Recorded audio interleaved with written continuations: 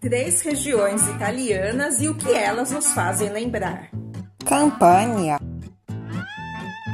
Na Campânia ficam as cidades de Nápoles e Pompeia, além da linda ilha de Capri.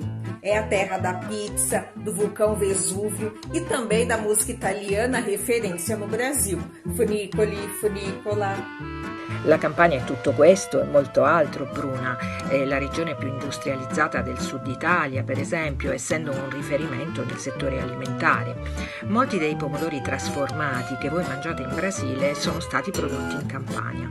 Inoltre ha tante bellezze naturali, artistiche, oltre all'ottima cucina, e accoglie turisti da tutto il mondo, generando un mercato di miliardi di euro. Veneto. Para mim, o Vêneto é Veneza. Impossível não pensar nos seus canais com gôndolas, nas suas máscaras de carnaval e na famosa Piazza San Marco.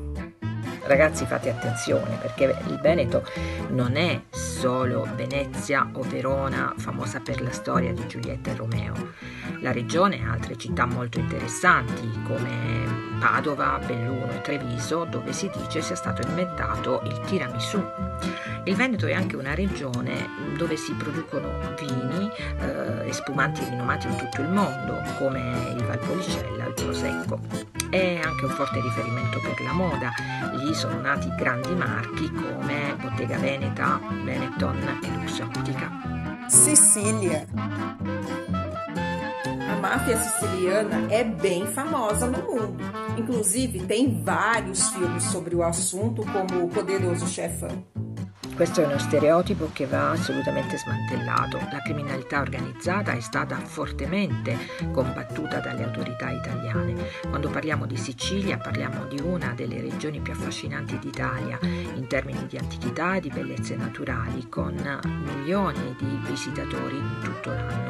È l'ottava economia eh, più grande d'Italia e infatti il settore alberghiero è cresciuto molto nella regione negli ultimi anni.